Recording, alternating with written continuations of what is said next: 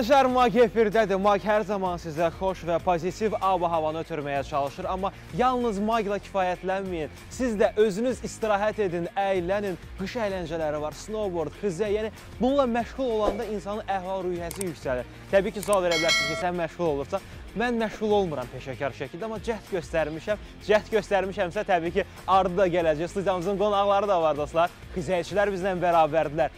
Lalə Rəsulova və Rəşad Sultan bizlə bərabərdir. Xoş gəlmisiniz. Buyurun dostlar.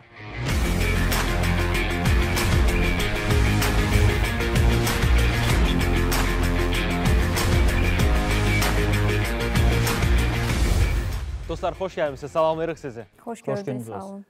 Lalə, siz xizək sürürsünüz. Sizdən başlamaq istəyirəm. Ümumiyyətlə, xizək sürmək nə dərəcədə asan və yaxud çətindir?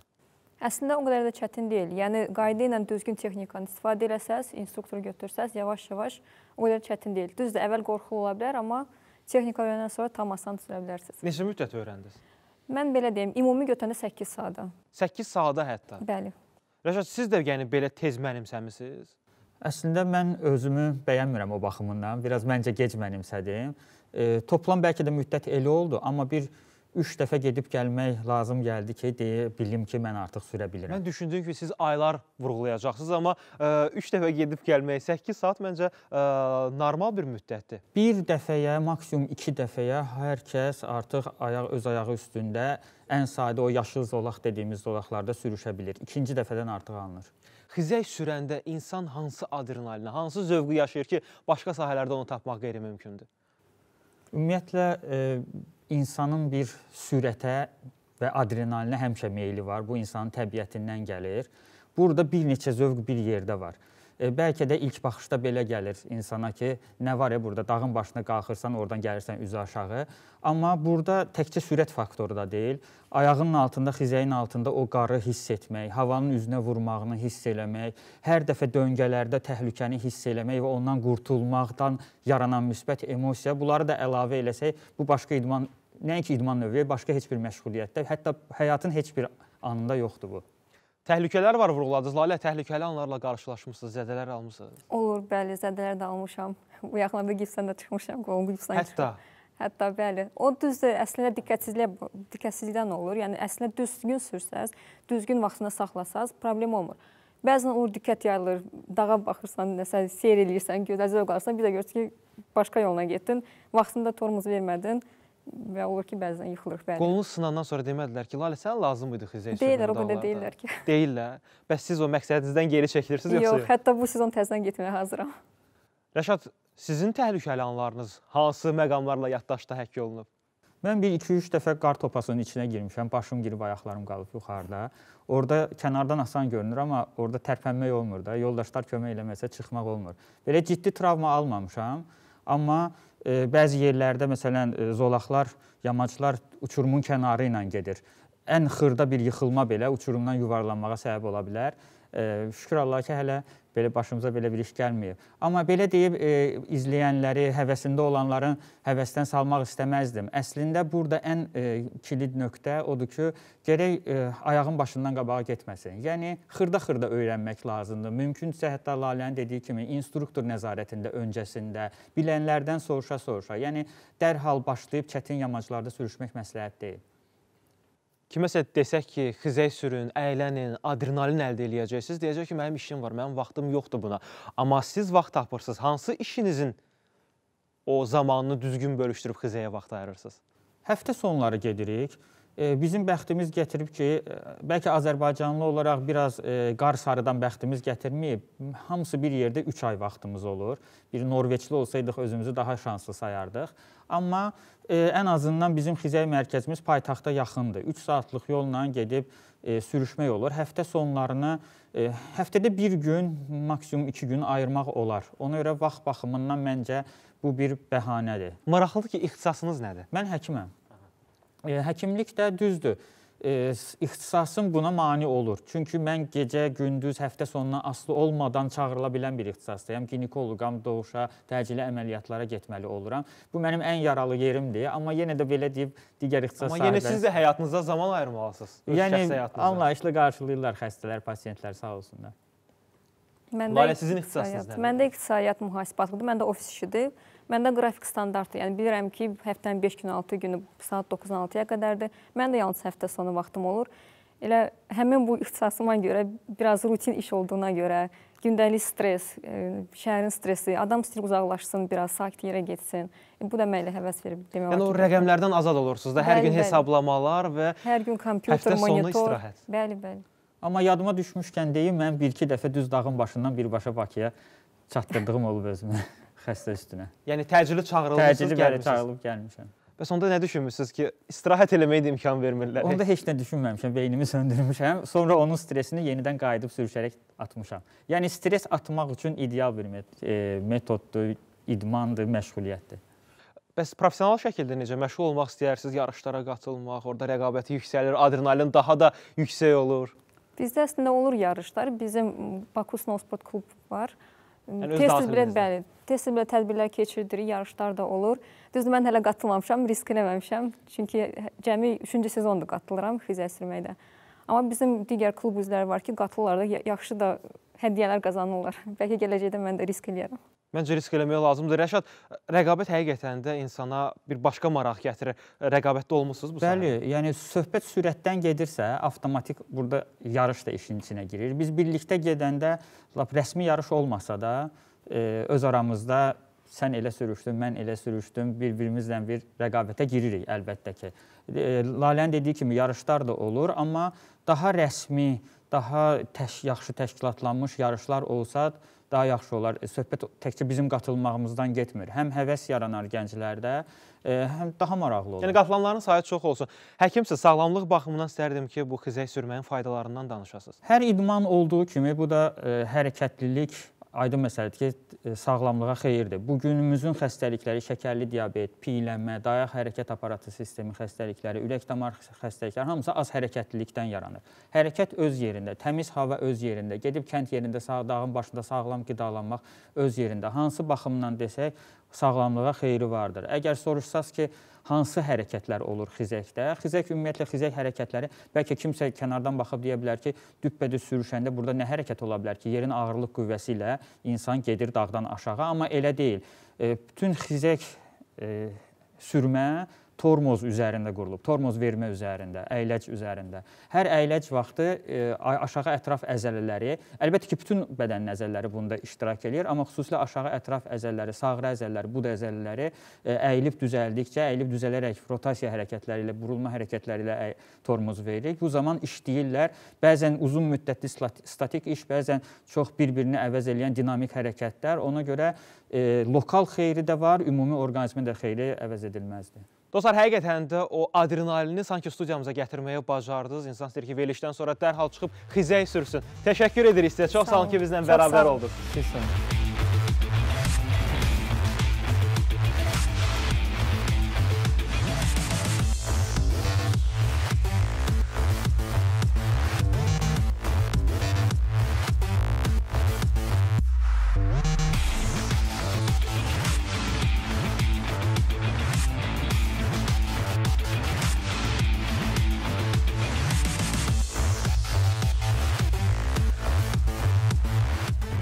Qonaqlarımızın da vurğuladığı kimi bu sahədə kifayət qədər təhlükələr var. İstərdim ki, sizə bir hekayəni danışım. Təbii ki, bütün hekayəni mən sizə danışmayacağam. Hazırda təqdim edəcəyimiz sujetdə daha ətraflı məlumat əldə edəcəksiniz. Erik Remark snowboardla məşğul olurdu, ciddi bir təhlükə ilə üzləşdi. Nəticələri barədə sujetimizdə öyrənəcəksiniz. Olimpiya çempionu keçmiş xokkeyçi Erik Lemark Karyerasına 1986-cı ildə başlayan idmançı Fransız milli xokkey komandasının üzvü olub. 1994-cü ildə qış olimpiya oyunlarında, 1995-ci ildə dünya çempionatında iştirak edib. 1999-2000-ci illərdə təqaüdə çıxıb. Bundan sonra Erik Lemark snowboardla məşğul olmağa başlayıb.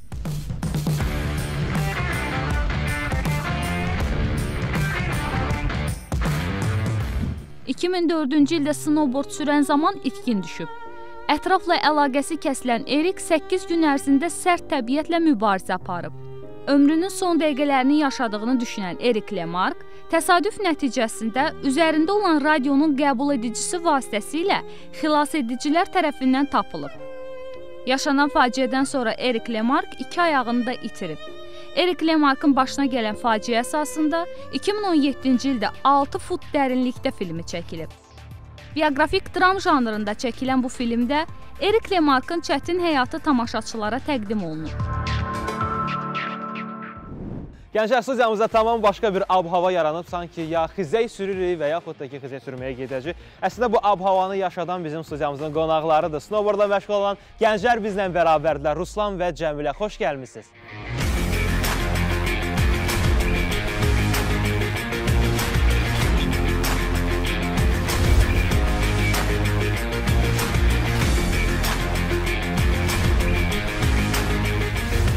Dostlar, xoş gördük sizi. Xoş gördük, salam.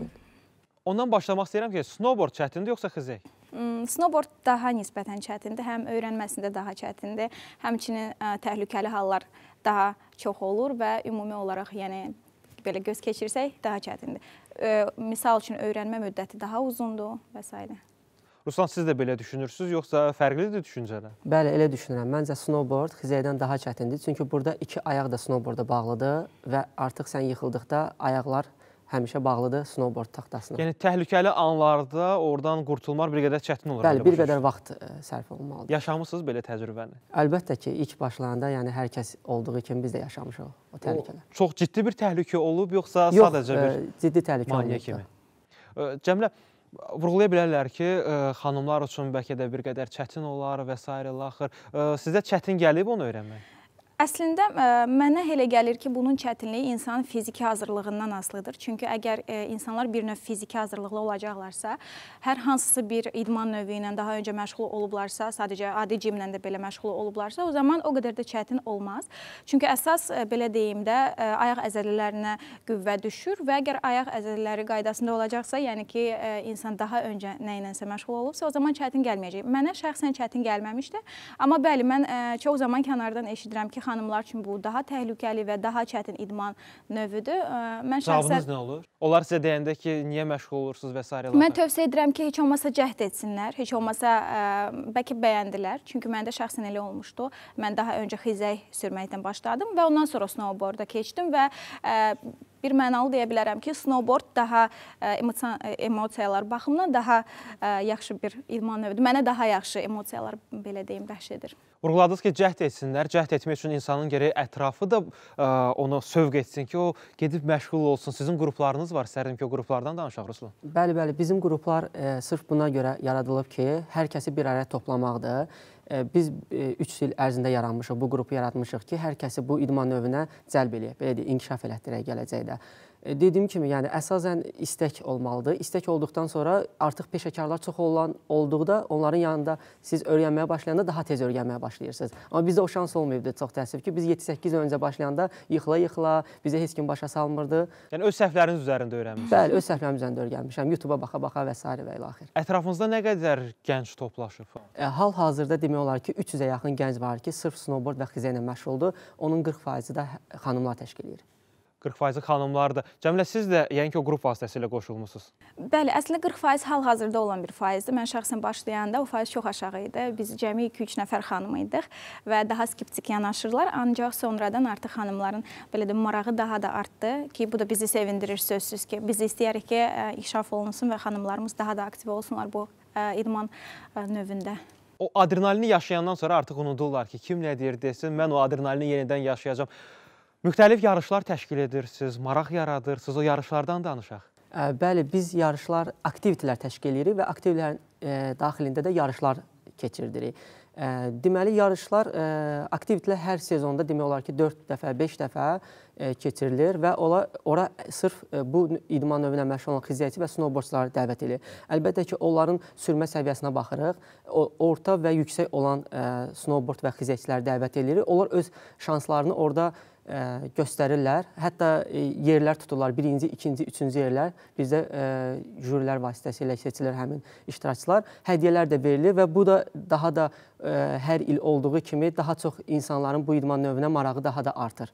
Etiraf edək ki, Azərbaycanda qış o qədər də sərt keçmir. E, Yəni bir neçə ayı əhatə edir. Dekabr, yanvar, fevral və artıq qış mövsümünün e, sonlarına doğru irəliləyirik. Pandemiyanı yaşayırıq. Karantin oldu. Bunların hamısı təsir elədi sizin sahəyə? Əlbəttə ki, pandemiya vaxtında biz e, rayonlara gediş-gəliş olmadığı üçün e, biz gözləməli olduq. Məyus oldunuz. Bəli, məyus olduq əlbəttə ki, çünki dediyiniz kimi çox qısa bir e, qış yaşayırıq və o qışdan da istifadə eləməyə çalışırıq ki, hər mövsüm gedə gələ. No yenə də 2 ay var, hələ ki 2 ay var. İstəyərdik ki, hər həftə sonu yenə də bizim e, başlayır gedişlərimiz ki, bu idman növünü heç olmasa 2021-ci ildə 2 ayda olsa məşğul olaq. Yəni o aktivliyi yenidən bərpa edəcəksiniz. Əlbəttə ki, qruplarımızda e, çoxlu sayda sürənlər var. Hamısı da demək olar startdadır hal-hazırda. Həftə sonlarını gözləyirlər ki, e, bir yerdə toplaşaq və gedək istirahət edək. Yəni ki, belə sualla siz də rastlaşmısınız. Kimsə görəndə kənardan xizək sürənləri və yaxud snowboardla məşğul olanları vururlar ki, görəsən bu hansı işlə məşğuldur? Hələ gəlib bir ə, xizək də sürür, snowboardla da məşğuldur. İstərdim ki, elə o sualı da mən sizə ünvanlayım. Bəli, mən özüm dənizçiyəm. Növbə ilə işləyirəm. Bir ay işləyirəm, bir ay evdə və bir ay evdə olduğum müddətdə məşğul olum və məndən əlavə olaraq ora gələn hər kəs demək olar ki, başqa-başqa sahələrdə çalışırlar. Hər kəs istəyər ki, öz işindən əlavə də bir aktivitə ilə məşğul olsun, istirahət eləsin. Bu məncə bu belə də olmalıdır. İnsan işdə işlədikdən sonra stresi atmaq üçün hansısa bir aktivitə ilə yəni məşğul olmalıdır. olmalı, Vurğuladınız ki, dənizdə çalışırsınız, stressdən azad olma. Dəniz özü də bir adrenalin dolu məkandır. Bəli, bəli, dəniz özü də həm təhlükəlidir, həm adrenalindir, həmişə var. Yəni e, bu da tam fərqlidir də, belə deyək. O işlə bağlıdır, bu isə istirahətdir.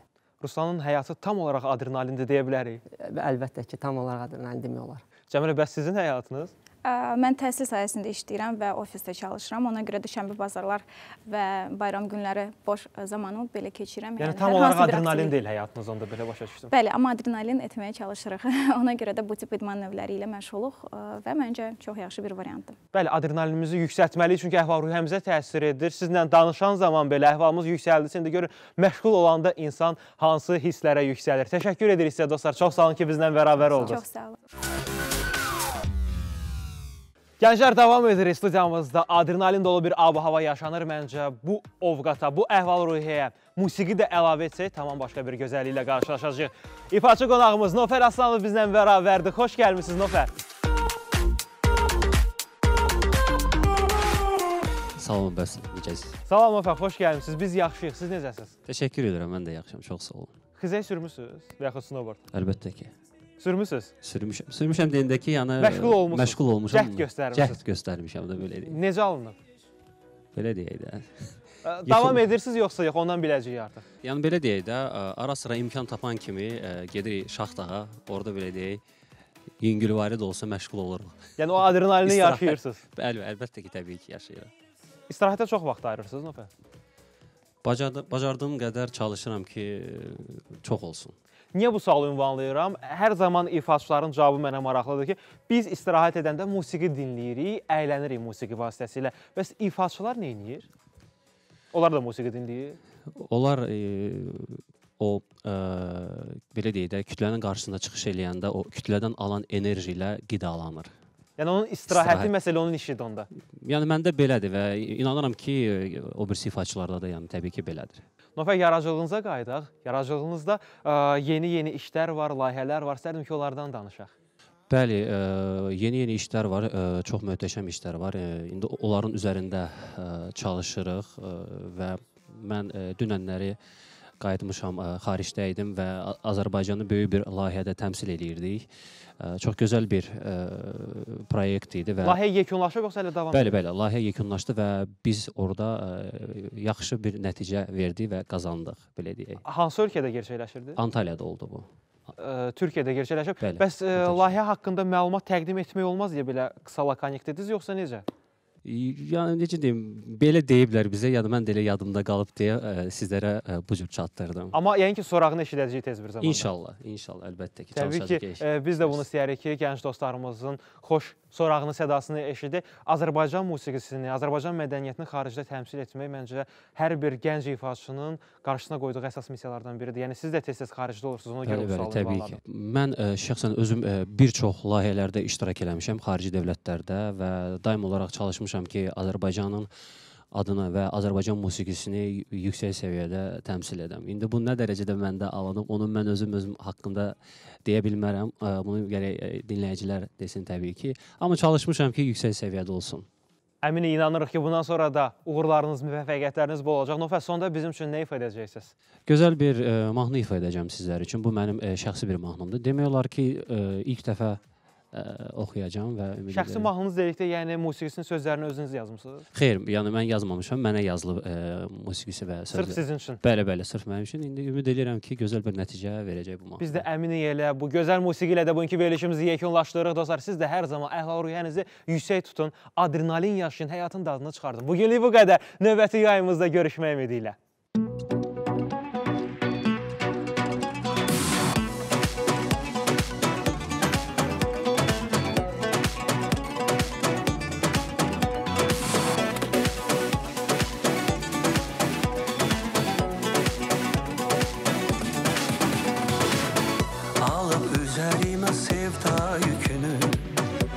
Yanına bir dəfəlik gələcəyəm Ürəyimdə kədərin olsa belə Üzünə güləcəyəm